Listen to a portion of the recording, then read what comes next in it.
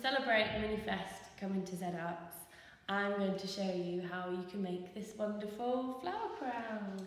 So, what you'll need uh, are a piece of card, patterned or coloured napkins, sequins or glitter, some double-sided tape, some glue and some scissors. Uh, I'm going to start off by making the hairband and then use that one to measure out a second piece. These together with some of the double-sided tape. Just going to add some of these sparkles on here. Now we're going to put the flowers on. If you open them out in half and just cut down, you then need to cut it again. So you'll be left with lots of little squares. And you're now left with two squares like this. Fold them in half like this and fold it again.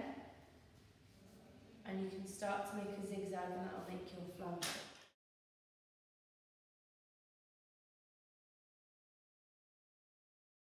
And then what you can do is you can start to ruffle it a little bit to sort of give it a flower edge.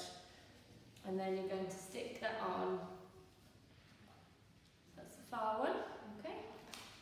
And then you can move on to a different colour to give it a different edge.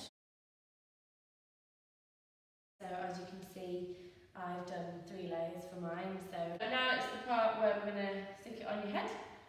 So you just need to measure it around